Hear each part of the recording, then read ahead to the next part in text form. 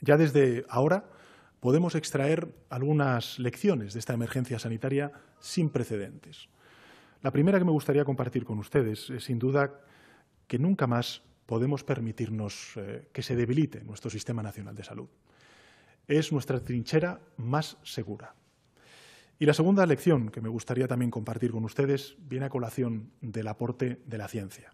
Nunca más debemos relegar a la investigación y a la ciencia. La ciencia es empuje, es progreso y nuestros investigadores e investigadoras son un orgullo para el conjunto del país.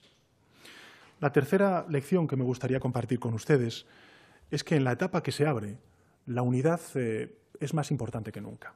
Hemos de mantener a raya el virus de la división, el virus de la provocación.